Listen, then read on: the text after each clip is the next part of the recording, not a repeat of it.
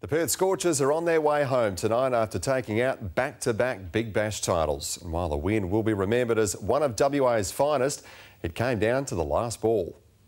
Here we are. What a finish. The Scorchers' tilt at Big Bash history got down to one run off the last ball. The last ball of Aussie speedster Brett Lee's career. Brett Lee steams into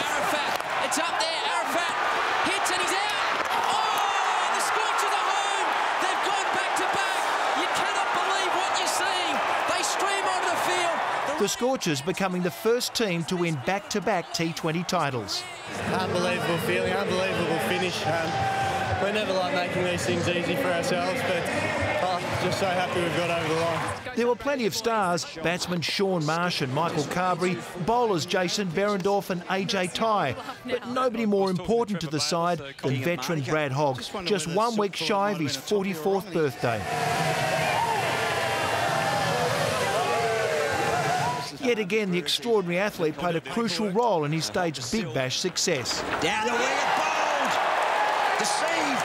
Beautifully flighted from Hogg. And he's far from finished. He's just about to sign a deal in the super rich Indian Premier League.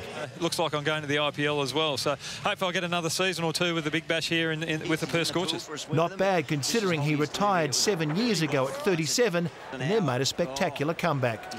Over the last four years, I, I don't think I've uh, enjoyed my cricket as much at WA as, as what I have. I don't think I've ever seen a better team atmosphere. Michael Thompson, 9 News.